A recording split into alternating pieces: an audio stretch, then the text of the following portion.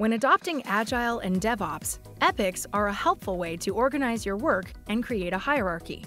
GitLab helps companies by organizing larger tasks through epics and issues. For their upcoming release, AwesomeCo wants to have a 1.0 launch for their flagship products. In order to do that, they have to collaborate and have work delivered from each of the different value streams. For example, an epic has been created here, as well as a mobile app interface within the consumer products team, a web app interface sub-epic, which is a capability within the consumer products group, as well as infrastructure and APIs that the service group needs to deliver. These can further be decomposed down into features. The account flow needs to be created. Within that, some web user app settings need to be managed. Let's say that you want to decouple web app user settings from Create Account Flow you can drag and drop your epics to reparent them right within this view. You can also drag and drop epics to reorganize them, visualize them differently, sequence things out in a different way, or change the paired construction. In this view, you can also add new issues and create new epics. Let's say a team member missed some scope and needs to add something to the logistics group. You can select a group that you want to create the epic in, add some reporting for the supply chain, and create that epic.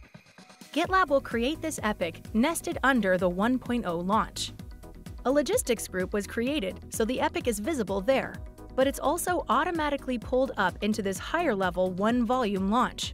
Epics can be managed and scheduled in two different ways. You can set some fixed dates, setting the start date and due dates manually. Or epics have something called inherited dates. Inherited dates work like this. GitLab will scan all of this epic's issues down to the lowest level, determining their tasks, maintenance items, bugs, and stories. It then picks an early start date based on the issue's assigned due dates, iterations, and milestones, and that milestone's start date.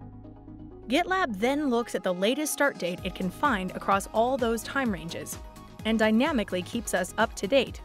In terms of planning breakdown, you start with your scope and decide what you need to call this complete. As the team starts to break this down and plan it into releases and iterations, you can see exactly which items need to be completed based on the team's estimates and scheduling. This is a great way to signal upstream if you need to cut scope or negotiate trade-offs, depending on if you're on a fixed schedule or a fixed scope basis. You can set epics as confidential to ensure they won't be visible downstream. And you have a rich audit history for every change to the epic, who changed it, and what they did. Epics also have discussions. You can have threaded discussions directly within the epic and see changes in the description as you edit over time. Anytime there's a change, it will show up as a note within this block. A practical driver for most Agile and DevOps teams, GitLab epics and issues help you organize your work.